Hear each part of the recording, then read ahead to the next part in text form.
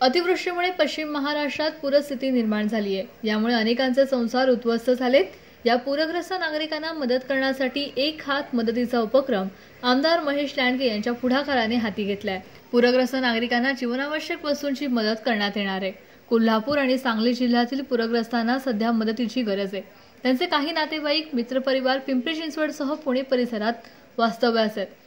अनेकांना गावाकडील लोकांना कशी मदत करावी याची चिंता आहे. अशा नागरिकांनी संपर्क साधण्याचं आव्हान यावेळी करण्यात आलंय.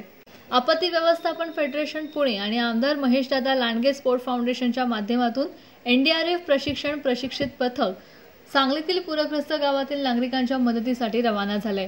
एकूण पंचवीस जणांचं पथक असून अद्यावत पोटी रबर बोट लाईफ जॅकेट जेवणाचे साहित्य यासह आवश्यक साहित्य घेऊन संबंधित टीम सांगलीकडे रवाना झाली आहे त्यासाठी आवश्यक बाबींची पूर्तता आमदार महेश लांडगे यांनी केली आहे प्रतिनिधी महाराष्ट्र न्यूज पिंपरी चिंचवड. व्हिडिओ पाहण्यासाठी सबस्क्राईब करा बेल आयकॉन दाबा आणि पहा महाराष्ट्र न्यूज.